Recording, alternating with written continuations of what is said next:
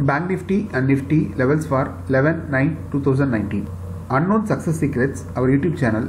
Like it, share it, and subscribe it. September 11th, on this day, if you wish to buy Bank Nifty, you have to wait till 27817. The targets will be 28026 and then 28236.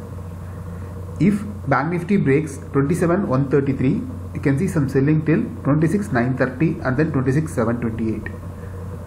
Nifty, if you wish to buy, you can buy only above 11105.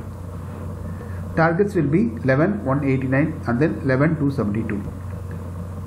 If Nifty breaks 10919, you can sell for a target of 10837 and then 10756. These are breakout levels. Wait and watch till these levels come. On 11 9 2019, you can watch BPCL, Godrej Industries, Reliance, and Tata Motors for trading. Watch out the breakout levels of September 11th and trade safely. Thank you.